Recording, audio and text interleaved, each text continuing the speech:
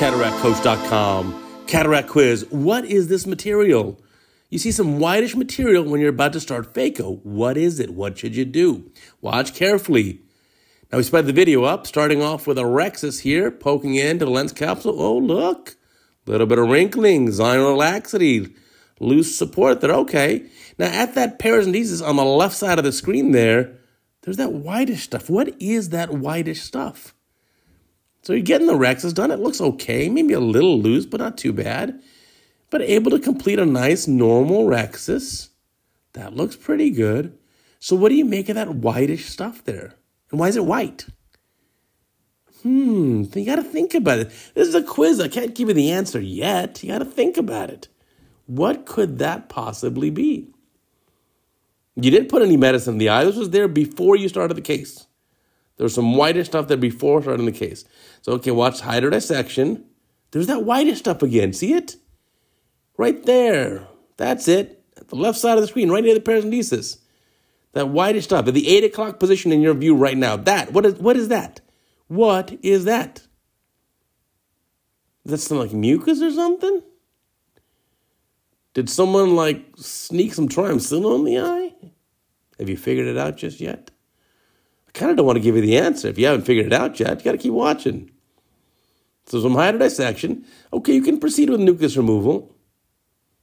That's asteroid hyalosis. There's your answer. That's the answer. Patient happen to have asteroid hyalosis, has this traumatic cataract, has traumatic zonular loss, and there's a gap there in the zonular support, and some of the vitreous prolapse forward. And because the patient has asteroid hyalosis, you see the vitreous. It has the white opacification or calcifications within the vitreous. So that is vitreous in the anterior chamber coming around the lens equator.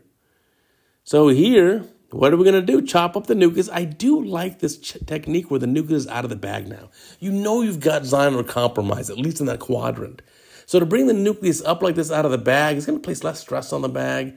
You can also tilt your instrument operate away from that vitreous. You don't want to pull on that vitreous with your phaco probe. You don't need vitreous traction. Hey, did I tell you about cataractcoach.com? You better check it out because you need to know how to use appropriate settings. In this case, you're going to have to do a vitrectomy. And you got to leave YouTube. You got to go to cataractcoach.com. You got to figure out the settings now, how to do vitrectomy. I can't do all your homework for you. You've got to put in a little bit of effort. So now cleaning up, there we go. Injecting viscoelastic, that's a smart move for sure. For sure, for sure. So inject more viscoelastic. Viscoelastic is cheaper than vitreous, even though here we already got some vitreous. So now how are you going to clean this case up? All right. There we go.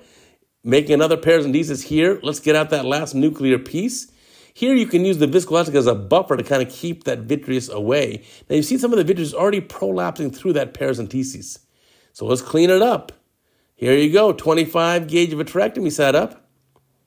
Now going in here, you may even want to make another paracentesis opposite the one, or let's say, let's say the patient's, you know, 90 degrees away, like say the patient's nasal, just so you can avoid the vitreous that's already prolapsed. But you can certainly do it this way too.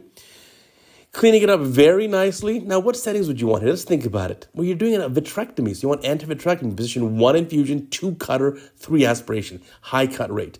Now, look at this, super smart, using the the bimanual setup two now to do cortex removal. Now, how do you use a vitrector to do cortex removal without engaging the cutting aspect? Well, on your machine, just hit cortex removal, IA mode, and the machine won't allow you to engage the cutter. Now, here, putting in a CTR, going in the bag, nice and easy, deliver that around, round, round. That CTR is going to help a big time. Now, let's see what we got here for the lens. Single piece acrylic lens going in the bag. That looks pretty good. I like that.